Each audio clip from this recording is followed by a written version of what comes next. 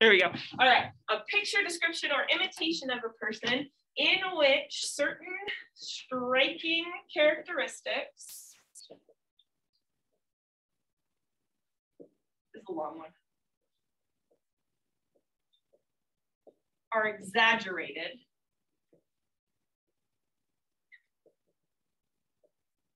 in order to create a comic or grotesque effect.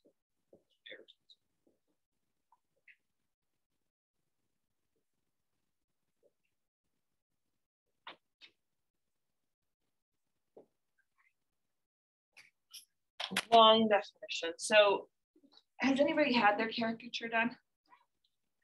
Few of you. How happy were you with the results? Made me happy. You loved it, Lena? yeah. Lucy, not so much. Why not so much? Well, um, when I got it done, I was very insecure about my nose and in face. That was one thing that they decided. Yes.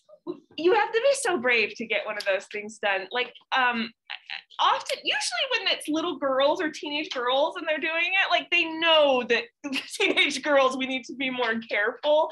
Um, so Or my, They when, go, or they go the other way yeah but mine i was like so happy with it because i have like very uh, this is being dumbly critical but i have like kind of small eyes for my face and they made my eyes like Emma Stone, like gorgeous, like the lashes were like so great. And I was like, yes, I'm happy with this. This is the the characteristic that I want exaggerated, right? But my husband, same way when they did his caricature, they honestly, so it was um my husband is not jewish but he has kind of jewish features. He has like um you know an afro and he's got kind of a prominent nose and they exaggerated all those parts of him to, to a level that like we had to throw it away. We were like this looks like like nazi propaganda. We cannot keep this in the house. It was insane. So it was like they pulled out things that like they identified in him that kind of weren't actually there and made assumptions about him and it was it created this kind of grotesque effect but lena why'd you like yours oh awesome so it was a good like memento right yeah james I'm gonna be completely honest. I haven't had a caricature, caricature, Yeah? so to speak. But my dad has this friend who's a cartoonist, and when I was seven, he did a picture of. Oh so that could kind of that could be a caricature where their features exaggerated Oh in you? no! oh it just was you kind of as a cartoon? If anybody knows who Ari Vandergraaf is, it's kind of that style. i don't. Mm. yeah. Um, so mine was at like my mom's wedding, and I think wedding like character artists make you seem a lot like better. because it's like it's a romantic occasion it's Yeah. nice And yeah for, you know, Oh, right. wedding. And so we got mine, and like we all looked so good. It's like wow, we look so good. we're such a beautiful family i love that yeah I got a character. I don't remember. Uh-huh. Busy. uh-huh It was when I was little, and then they just gave me like the biggest um okay that's a great example actually because stop me if i'm wrong but were you a little bit chatty when you were getting your caricature done? No, I didn't like. no? Were you sneering at him?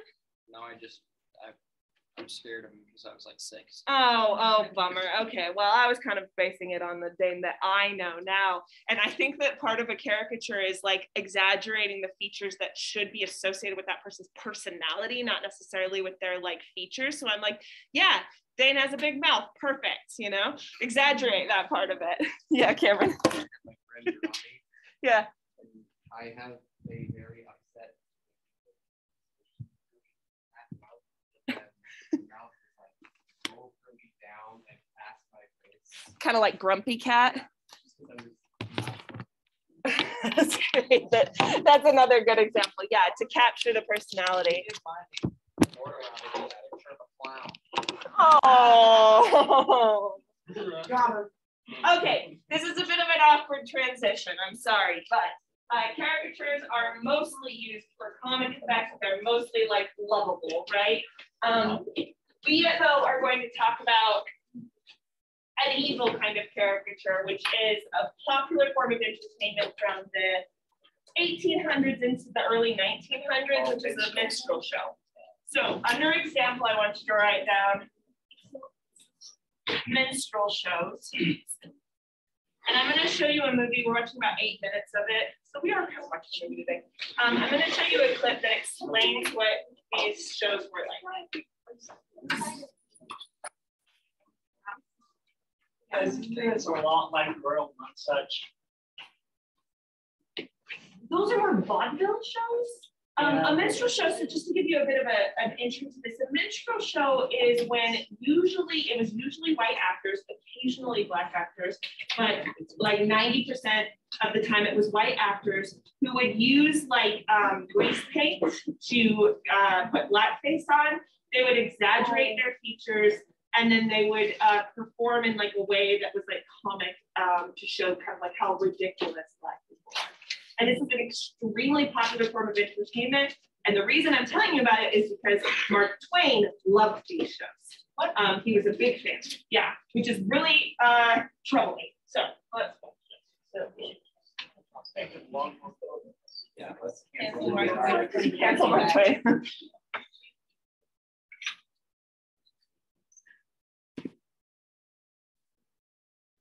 Melodrama was big everywhere, but only America decided to link melodrama and the minstrel show. And this gets us Uncle Tom's Oh, sorry, that's the end. adaptation. Hey there, I'm Mike Rugnetta. This is Crash Course Theater, and today we're continuing our discussion of 19th century American theater, setting parts of our theatrical past. In the 19th century, race and racism contributed to a unique and troubling Sorry. create, spread,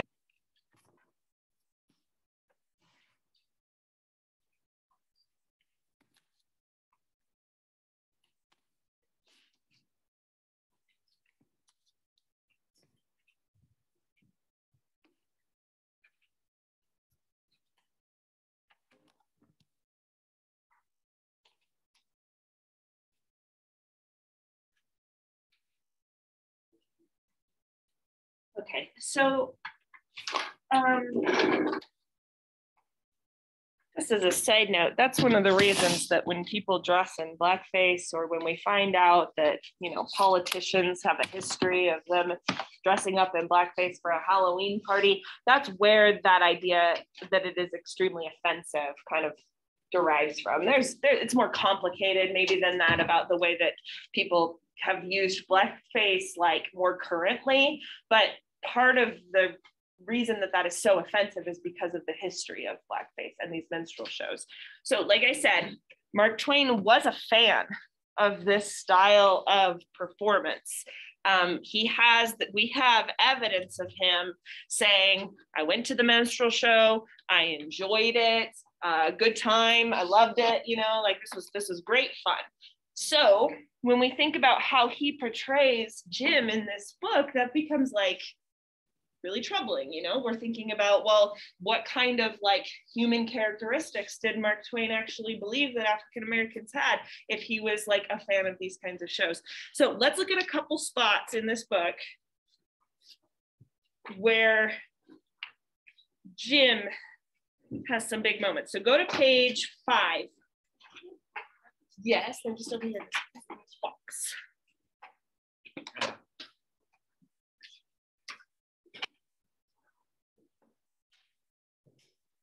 just page five.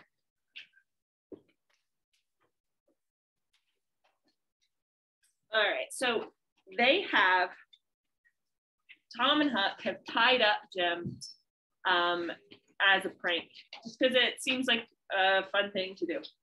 And Tom uh, gets some candles, he lays cents on the table. This is at the top of page five. Then when we got out, he was in a sweat to get away, but nothing would do Tom, but he must crawl to where Jim was on his hands and knees and play something on him. I waited and it seemed a good while. Everything was so still and lonesome. It says, as soon as Tom was back, we cut along the path around the garden. This is what I wanted. Yeah, around the garden fence and by and by fetched up on the steep top of the hill the other side of the house. Tom said he slipped Jim's hat off of his head and hung it up on a limb right over him, and Jim stirred a little, but he didn't wake. Afterwards, Jim said the witches bewitched him and put him in a trance and rode him all over the state and then set him under the trees again and hung his hat on a limb to show who'd done it. And, uh, and next time Jim told it, he said they rode him down to New Orleans. And after that, every time he told it, he spread it more and more till by and by he said they rode him all over the world and tired him most to death, and his back was all over saddle boils. Jim was monstrous proud of it, and he got so he wouldn't hardly notice the other N words.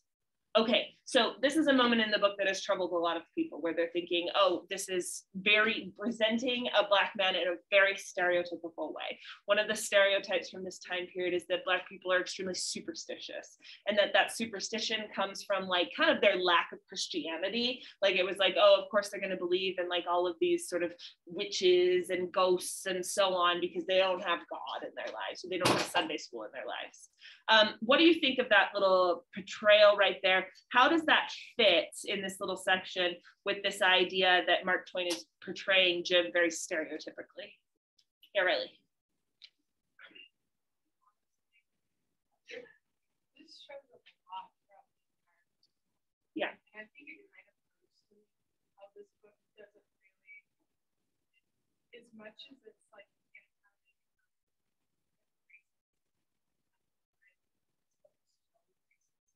Yeah. it's so- Like, you can tell that he's getting these types of Right. and there's no way. I don't think Like you get up to other, um, black men and women, it's like, so do you believe in that? What's your experience of the world? Yeah, like- Yeah, right. You would normally see, you know, like authors say, you're gonna write about, let's say, you know, the Asian culture. You'd go and ask an Asian person. Right. Probably went to the whitest minstrel show possibly. Okay. Okay, good. So, um, yes, I think so. Mark Twain grows up in the South. He would have known Black people, but I think that you're right that this sort of this sort of comes not from the Black lived, lived experience, but it comes from his sort of understanding of caricatures that he's seeing. He's representing Jim as one of those caricatures. Bradley. I mean, this feels a lot reading like satire to a degree. Yeah. Especially because this isn't necessarily how, uh, it's almost more Mark Twain portraying how Huck sees Jim. Yes, that's really important here. And like, while he lived in a time where that was just everyone, it wasn't considered like bad. It's just everyone was into that. He didn't, but I don't. He didn't have like any like racist intentions with this. Feel like Mm. it got this is kind of right, but it makes me think of like the movie Tropic Thunder Okay. and how people some people get really on Robert Downey Jr. saying he did blackface. Yes. When he's like, oh, I was playing a white character and that character was blackface. Yeah, which is a really important distinction, right? It doesn't mean that we shouldn't question whether or not uh, it's appropriateness, right? But there's satire of the racism there. Yeah, okay, let's keep reading because I think that it starts to get into that. It says, N-words would come from miles to hear Jim tell about it, and he was more looked up to than any in that country. Strange, N-words would stand with their mouths open and look him all over, same as if he was a wonder. They were always talking about witches in the dark by the kitchen fire, but whenever one was talking and letting on to know about all, all about such things, Jim's would Jim would happen and ah, sorry, happen in and say, hmm, what do you know about witches? And that N-word was corked up and had to take a back seat. Jim always kept that five center piece around his neck with a string and said it was a charm the devil gave to him with his own hands and told him he could cure anybody with it and fetch witches whenever he wanted to just by saying something to it. But he never told what it was he said to it. Uh, they would come from all around there and give Jim anything they had just for a side of that five center piece, but they wouldn't touch it because the devil had had his hands on it. Jim was most ruined for a servant because he got stuck up on account of having seen the devil and been rode by witches. Okay, I think that co- complicates it a bit. Um, and I am not disagreeing with Riley here. I'm also not disagreeing with Bradley. That's why it's like so, it's kind of confusing to me in this section. But what is the use of Jim's superstition in this section? Like, what use does he get out of being superstitious? Yeah. Got a little bit of fame. Fame. Yeah. So everybody around is like, oh my gosh, there goes Jim, the guy who like the witches chose to be, you know, their chosen one or whatever. And I want to interact with Jim more. So he gets a little bit of popularity from it. But does he get anything else from it? Stuff that people give him. Stuff. Yeah. So it's they'll give anything they had just for a side of that five centerpiece. So he's using it for his economic benefit. He's like, oh yeah witches witches came and they they took me around. Do you want to see the five cent piece that they gave me?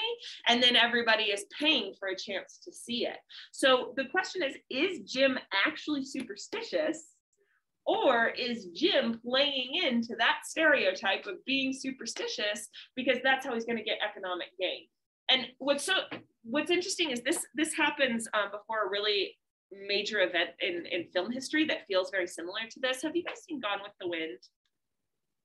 So there, there's a character in Gone with the Wind, her played by Hattie McDonald, um, McDaniels, sorry, Hattie McDaniels, who is like a mammy stereotype. This is a stereotype that comes from these minstrel shows. It was like the kind of overweight, matronly, like motherly black woman who just wants to care for all the little white children. And she was like, you know, a good cook and sang great songs and so on. And it's a stereotype, right? Yeah, and Hattie McDaniels was one of those black actresses who decided I'm going to per- perform in minstrel shows so that I can like make that money off that stereotype, right?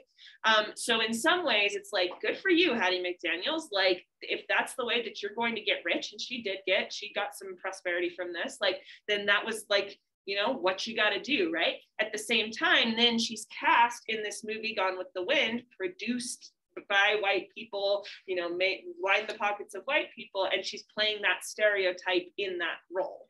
So I think Jim is kind of working that way too. It's like I'm I'm a slave. I don't have a chance to make money of my own that often. I know what people expect of me. And you can tell that he doesn't fully believe it because of the way that it exaggerates as it goes. It's like, oh, it just started around town. Now it's New Orleans. Now it's around the world. Um, you can tell that like he's exaggerating kind of on purpose.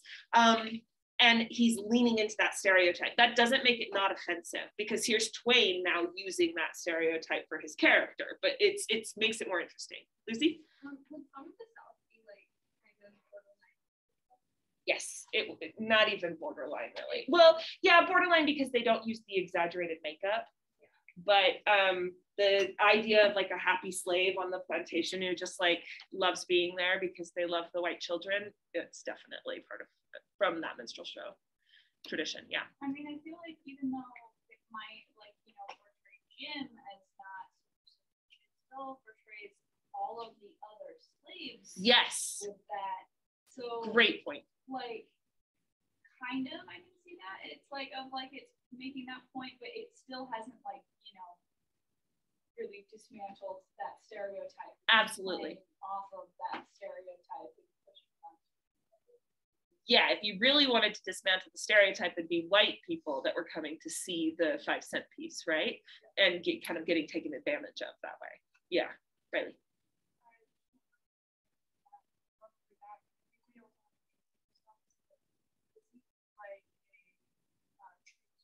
This is a fictional story with a fictional black man portraying problematic um, stereotypes Right, created by white. right, I right. think we have to kind of like go like also that He's not actually creating this system. Yeah, It's trying that's doing it for him. it Yeah.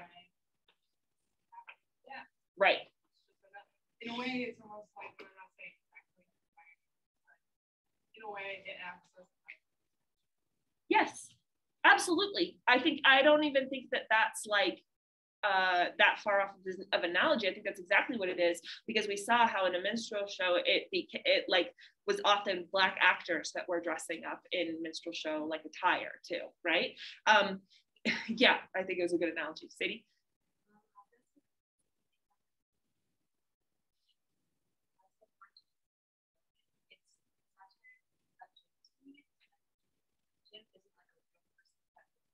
part of this movie and hang on with that. It's like one of the characters. Yes. Um, like, the part of it has to be that the public is- do whatever you want, but like Mark Twain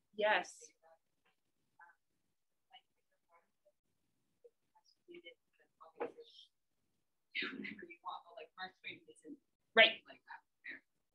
Right. Absolutely. Yeah, I think that goes along with what they were saying too. Okay, good. Here's let's look at another moment. Let's look on page 208. We're gonna skip all the way to the end. Okay, this is when the boys are making him go through, jump through all these hoops to achieve his freedom. Um, and they want him to have rattlesnakes and spiders because that's what you should have in a prison. Um, and so on 208 in the middle of the page, uh, he says, Tom says, You got any spiders in here, Jim? And Jim says, No, sir, thanks to goodness I, I haven't, Master Tom. All right, we'll get you some. but bless you, honey, I don't want none. Um, I'm, af- I'm afraid of them. I'm just gonna read it the way I can. I just as soon as have a rattle, I just as soon as have rattlesnakes around. And Tom thought a good minute or two and says, It's a good idea. And I reckon it's been done. It must have been done. It stands to reason. Yes, that's a prime good idea. Where could you keep it? Keep what, Master Tom? Why, a rattlesnake. Uh, goodness gracious alive, Master Tom. Why, if there was a rattlesnake to come in here, I'd take and bust right out through that log wall, I would, with my head. Why, Jim, you wouldn't be afraid of it after a little. You could tame it. Tame it? Yes, easy enough. Every animal is grateful for kindness and petting, and they wouldn't think of hurting a person that pets them. Thomas, Thomas My said God, no. Tom's an idiot. yeah, he's very book smart, but not uh, not so life smart. We call Tom book smart and then have him say that is dumb. he There's has no intelligence in that. he has read a lot of fantasy books where princesses put out their hands and birds alight on their hands. You know, like there's this romanticized version of the It's- world. It's funny because he says rattlesnake, which is completely different from a bird. Yes, true. He has he has made that.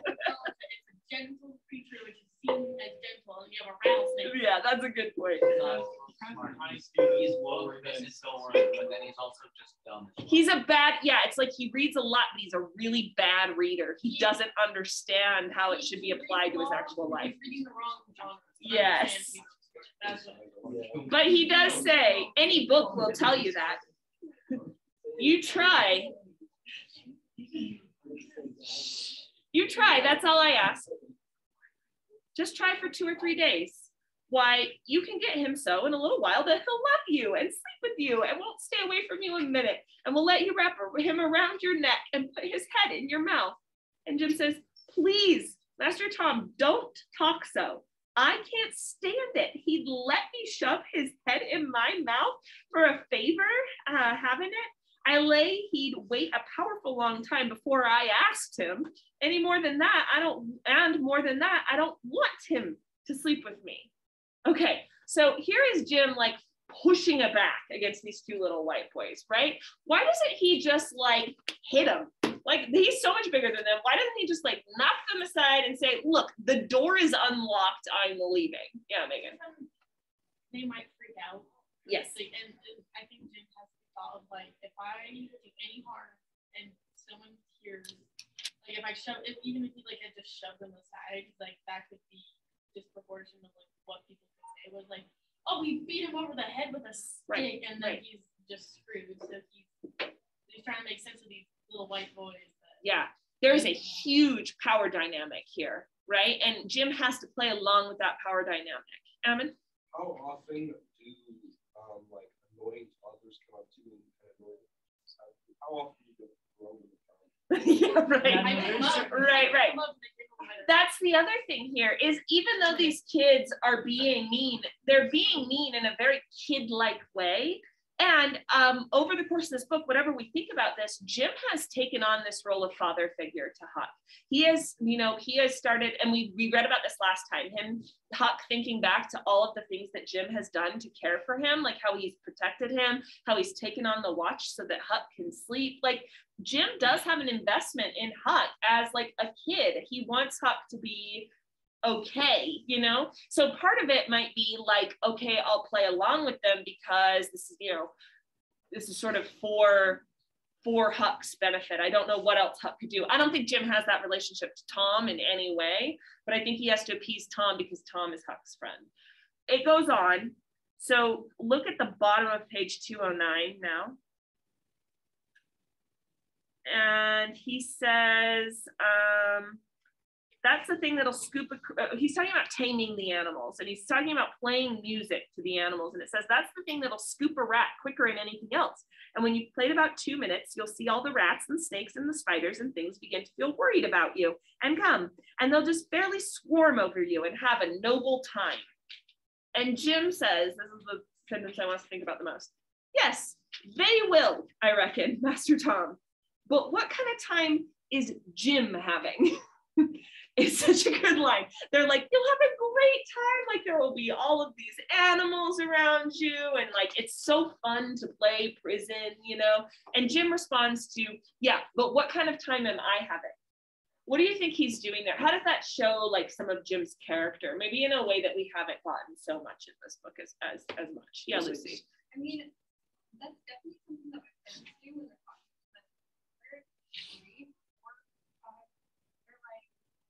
yeah, this is how you feel, but how do you think I feel? Yeah. That's a very.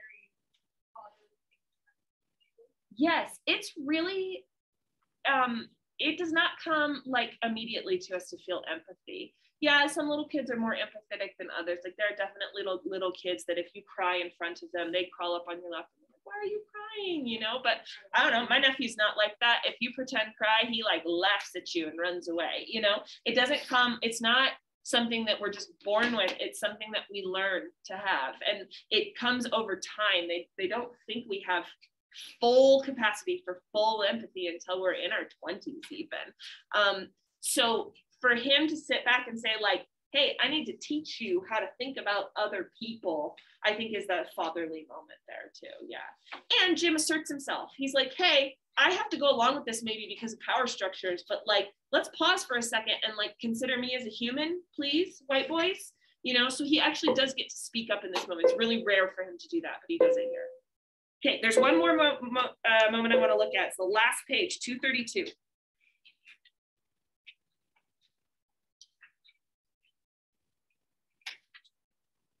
Actually, go to 231.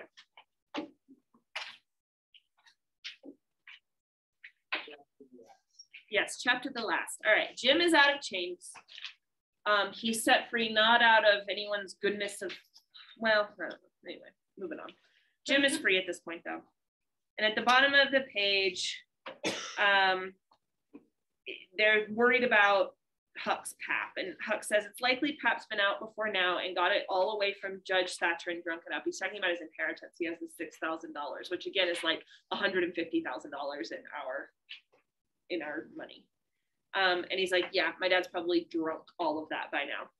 And Tom says, no, he hadn't. It's all there yet, $6,000 and more. And your pap ain't never been back since. Hadn't when I come away anyhow. And Jim says, kind of solemn, he ain't a coming back no more, Huck. And I says, why, Jim? Never mind why, Huck, but he ain't coming back no more but I kept at him. So at last he says, Don't you remember the house that was floating down the river? And there was a man in there, uh, kivered up, and I went in and un oh, it's covered, sorry, and uncovered him and didn't let you come in. Well, then you can get your money when you want it because that was him. So this whole time going down the road, this is a very early thing that happens. They haven't even left Jackson Island yet. A house kind of floats ashore, and inside that house is Huck's is a dead body. And Jim says, don't look at it, Huck. And we feel like he's, you know, protecting Huck from seeing a dead body, this little kid. I don't want you to have to see something so grotesque, right? But at the end, we find out it was even more than that. It was Huck's dad. Why do you think Jim didn't tell Huck? Yeah, Lucy. Okay, super traumatizing. You've seen your dead body. I don't want to traumatize this kid. Ammon? Um, I feel like it's almost kind of I mean, I know Huck was running away from society, but he was more running away from his dad. But that his daddy could have lived in that life with Aunt Potter or whoever it was and been fine. So I almost feel like it kind of like only really happened for like plot armor, you know? Yeah. Like just to keep the plot going, or like maybe like if you feel like you're someone's father father figure, maybe it's a little selfish to not like let them know that their relative passed away Mm-hmm. and you're safe and you can go back to life and you don't have to go through this hard, like painful journey down a river to you know, you know what I mean? Almost Yeah. kind of. Okay, so maybe Jim was Jim selfish on Jim's part not to tell him because Huck maybe didn't have to go on this giant adventure. But you also started out with like he could have gone back to living with Aunt Polly and, and Miss Watson, and he wasn't super happy there either. So potentially there maybe is is something not altruistic, but like not as selfish because he knew that Huck didn't have the best life. Maybe Sadie. Um, um, just like, just like, um, how could you trust your actors? I feel like you trust not- Uh, So I feel like he was not really not, but he was like trying to make sure that like Huck was going now. okay, okay. And so, um. Because Huck could have gone back to shore at that point. Yeah. Yeah, like I think if he had said that his dad died, like he would have just left and been like, oh, see ya. Or like, but Jim wouldn't know that like the beginning, he wouldn't know. Right. Right. Okay. And they hadn't formed that connection yet. Huck was just a little white boy that uh, lived with the person who owned me. Why should I trust him? Um, Going back to family thing, probably not selfish, but it's, I feel like Huck was needed by Jim for company. You get, he probably just wanted someone to come with. And he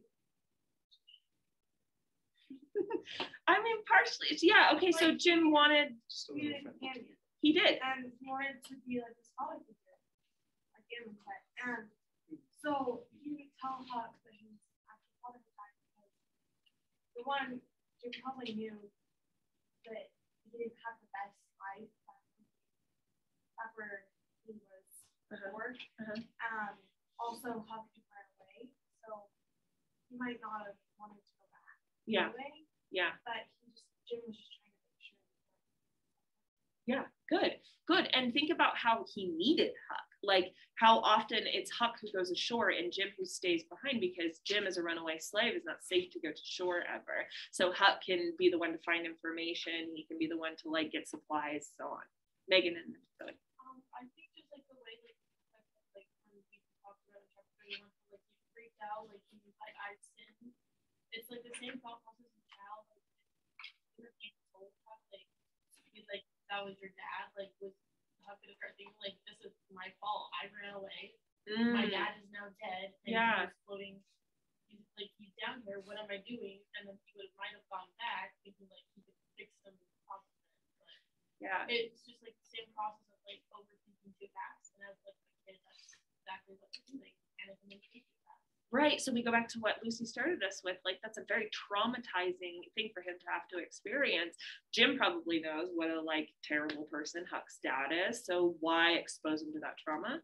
Zoe? Um, so kind of building off that, it didn't feel like malicious or selfish to me. Mm-hmm. Uh, one reason is because at the end of the book, even once he was free and he was there, um, he still didn't tell Huck until like he kept asking and asking and asking. I think one thing that might have helped that was that we see him talking about his own kids and how he right probably the same way with Huck. And I think there was a bit of a father figure in there for him that he sees his kids and also sees Huck as the same age and a way to help them. Yeah, that's a wonderful way of thinking about that. That like he actually he already was a father and he wasn't having the opportunity to father, and this is his opportunity to have that connection. Um, Um, I feel like maybe Jim was protecting. Because it's not always the easiest to have someone love or really well Yeah. die. Yeah. So maybe Jim should protect yeah yes good good um even if it is a abusive figure like it's still his dad right okay there are many moments in this book where jim exerts agency in this way. So even though we get it from huck's perspective and you guys rightly challenged me last time like jim's not the hero of this book right?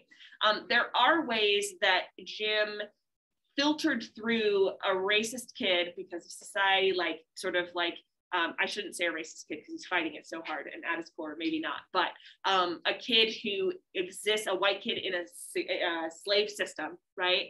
Um, he, we get it filtered through his perspective, but Jim shines through often in this book. Like he kind of like, he forces his way into it by saying like no i made decisions all along. In fact i made the biggest decision that kind of got us going on this journey. I ran away to freedom right? And that, then i didn't tell you that your dad was in that cabin and i could have you know i could have been caught that way. So i'm exerting my agency. So i'm not saying it's not racist and i'm not saying it is racist. I'm just saying it's it's quite complicated. So we're going to read a piece of criticism now from someone who loves this book that you wouldn't expect to love this book. So her name is Toni Morrison. Have you heard of this writer, Toni Morrison? She won all the prizes. Um, she is responsible. She wrote a book called Beloved that many people say that was the great American novel. Um, and she kind of became like the Black voice in literature, um, where whenever a book would come out about the Black experience, you'd go to Toni Morrison and say, Well, what do you think about it? Um, she's really intelligent. She writes in a way that is not going to be the easiest reading. But I still want us to work through this essay that she wrote because I think it's really important to understand why people like this book, why they think it's this classic. Yeah. Okay, so what I'm to have you do, this is your copy, you can write all over it. I'm going to have you reading her essay. It's it's long. You're going to read it quietly to yourself. And then I'm going to have some questions up on the projector here in a second that I'm going to have you answering once you get done reading this essay. Um, your goal here is to figure out why does Toni Morrison think that this book deserves to be read? So as somebody, she's um, she's a black woman who is a very prominent voice in literature, who is always looking to uh, make the basically like we talked about the Western canon and how you know it tends to be written by old white men. Toni Morrison, it was like her life project to upset that. Like, let's find voices like her like other voices from the past that wrote literature that are not, you know, old white men. Here is this woman who is like really values diversity in literature, and she's talking about how she loves Huckleberry Finn. So read this, and I'll put up the questions, and you'll just answer the questions uh, in the blank space that you got on the on the back of the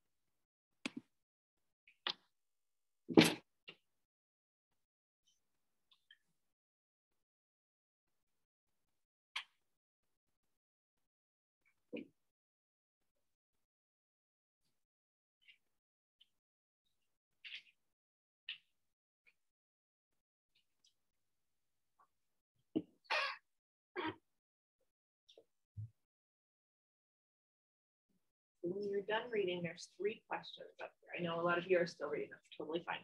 When you're done reading, there's three questions up here. It says each question should be at least five complete sentences to answer. Um, if it's, you know, don't make your sentences short and dumb to reach that five. I'm just trying to get you to be thorough with your answers. So answer these three questions in that blank spot on the purple page. If you need more paper, you can use more paper. We'll staple it.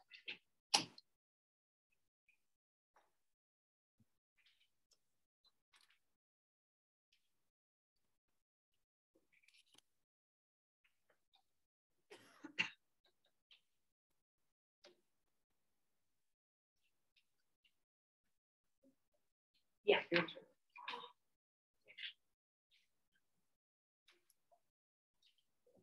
Why are we sad? I mean, you're doing it anyway. I'm just gonna give you points for doing it. Oh, well, show it to me. I'll take a picture.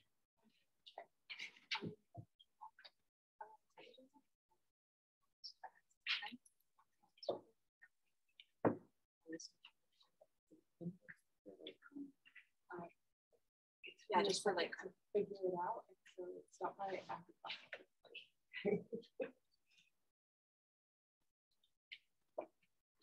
I was like, that's a good idea. Yeah, I can do that.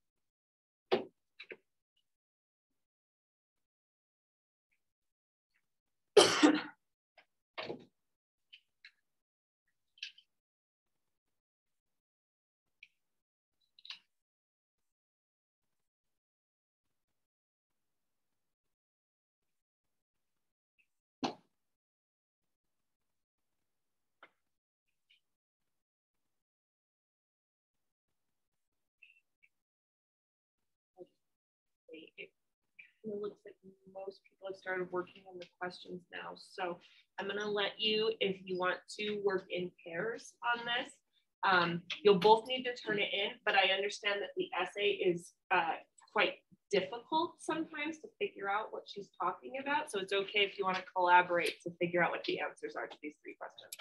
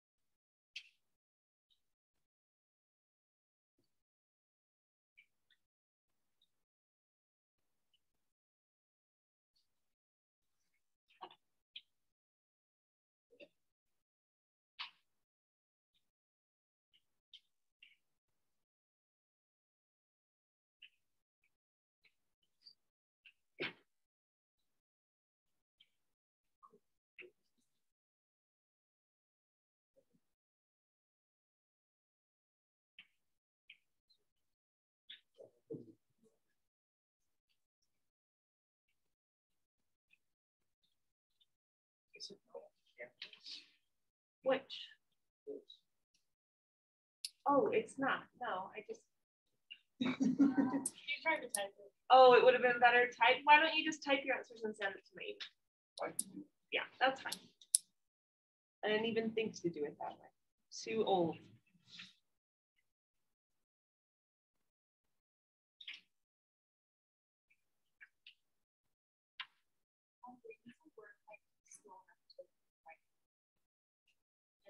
Humble brag. I'm too By- smart to answer these By, questions. by the time my hand's like writing it, like I'm already like, Oh, is that why typing's better? yeah. Oh, well, you can type it. Or you ever, you ever writing something by hand and you, you know exactly where it's going, and then you get a super good idea, but you can't remember what you're thinking to lead up to that idea. You're not there Seriously, yet. you forget one. And then you still have to write it out. It's like. Do you ever record yourself talking on your phone so that you can avoid that?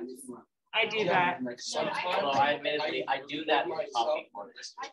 Wow, I sound horrible. No, no, no. You're like, I thought, my I- oh, your voice. in Oh. I like and I'm like, and I just kind of BS it, and then if Ms. Laura points out, she's like, oh, she's like, you do three words, uh, then we'll come back. Well, okay. If you want to change to typing, I, I don't mind. It's not five sentences, but it still feels. Okay, that's all I'm looking for. I just want you to be thorough. I like the go talk five. thing. Yeah. I feel like I sound a lot less eloquent when I talk rather than when I write. Like I think the words come out of my head. differently. Oh, me too. Sure. That's, I prefer writing. Yeah, like I, if I'm ever like giving some advice, I can't do it in person. Terrible. Yeah, text it to them. They're I'm standing, like, you're making eye sucks. contact. And then I'm giving them like full like therapy session.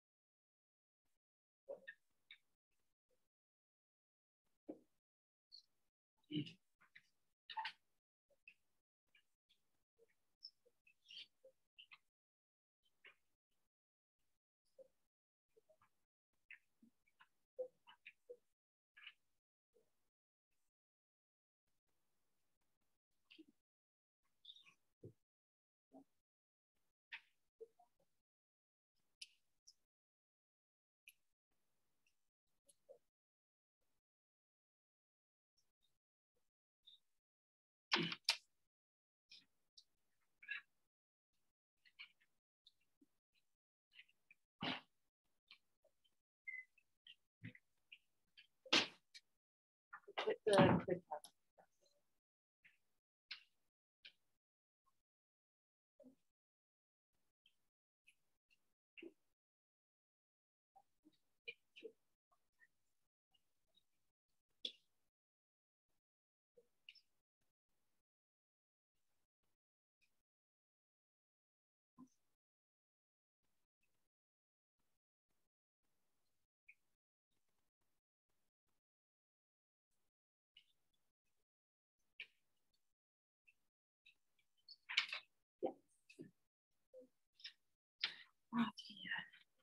Yes. It's got Velcro on the bottom. It's not sticky.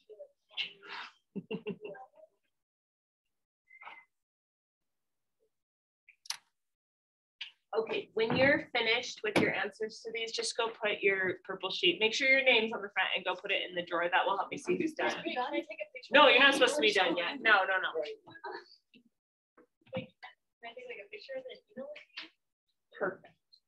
Can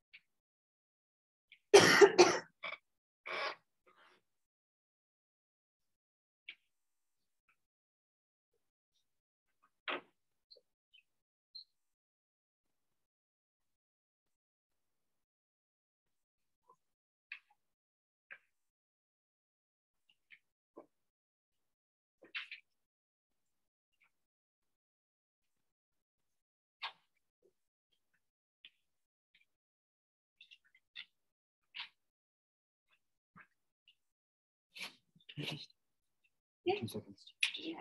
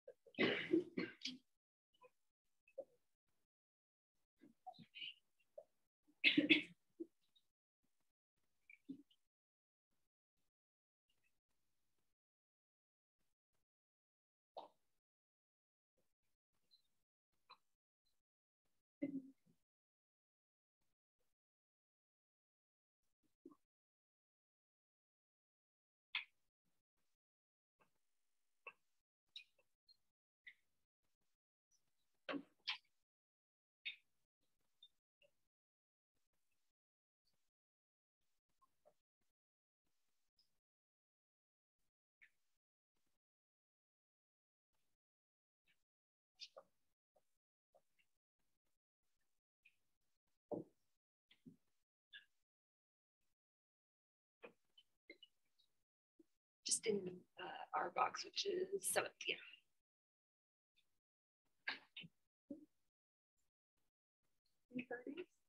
Oh, migraine.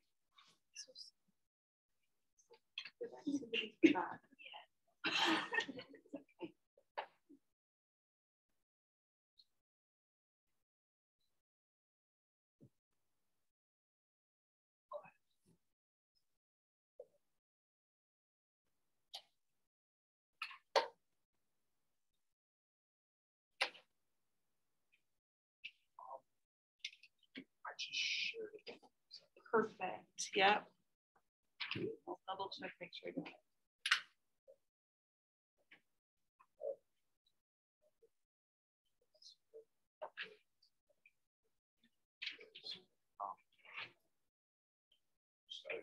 Great. Okay.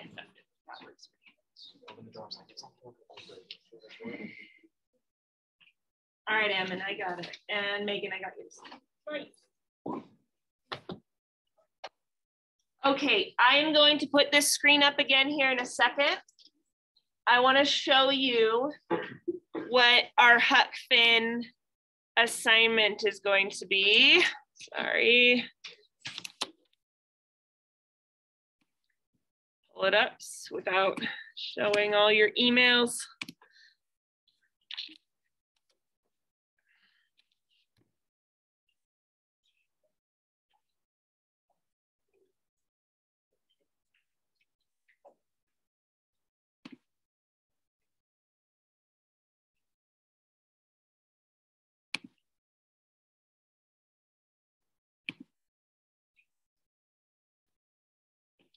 Okay, so along the way, you have little small assignments. You're going to be writing another paragraph for next time, just one paragraph. But on January 20, no, 19th for you guys, um, there is an essay that you're going to be writing about Huckleberry Finn. Of course, there is. There's always an essay, right? Um, and what you're doing in this essay, we're going to be working on this in class and building this. Um, but what you're doing is you're going to talk about one aspect of Huck Finn that you think makes it great. Or if you don't think this is great literature, what is one aspect from this book that is great? So I'm kind of forcing you to advocate for this book. I know that that's uh, not something everyone wants to do, but I want us to see why this has been considered such an important book. And so for the next couple of class periods, we're going to be reading more essays like Morrison's, not as long as Morrison's, but we're going to be reading about these writers who are defending Huck Finn. And it always does feel like a defense, not quite a celebration, but a defense. And so we're going to be reading some of that, and you're going to be eventually writing about one of these things that makes this book great. So I wanted you to just be aware of that because it'll it'll come up faster than you want it to.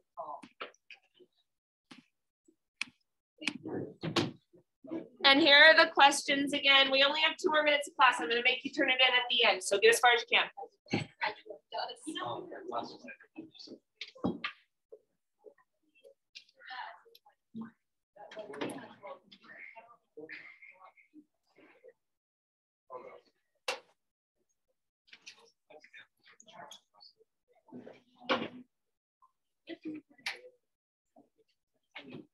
Oh.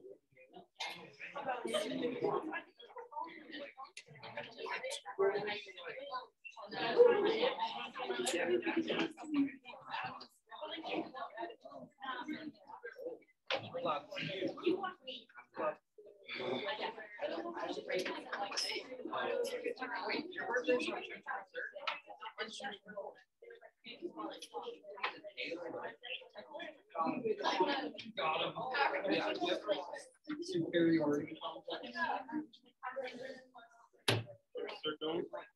No, we got to stay. I got in trouble. Yeah. Not bad trouble, but I I did get specifically uh, talking to and said, don't let your kids leave before the bell. So like, all right. Are people out there?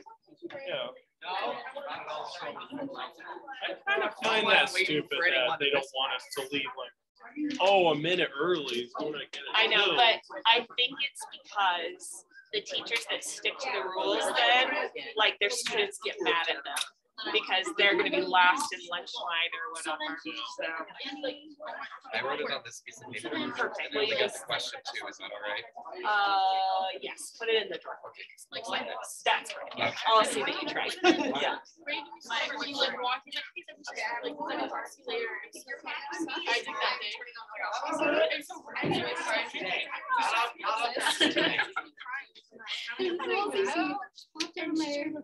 CD player one day, but like he wasn't like it wasn't like we ran. No, he was specifically looking for it. I was like, it's yeah, and then yeah. So my gosh, I was.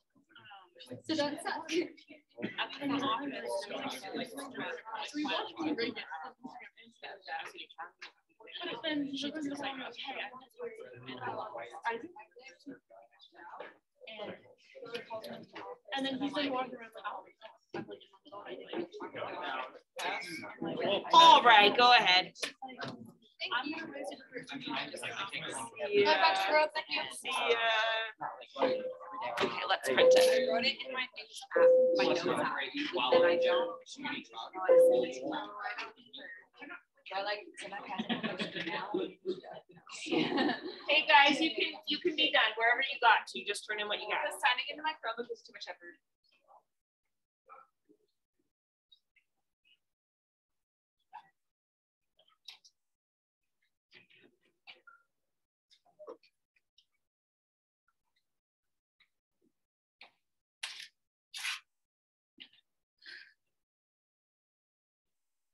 I'm getting much on a second too. but That's good. Yeah, good job.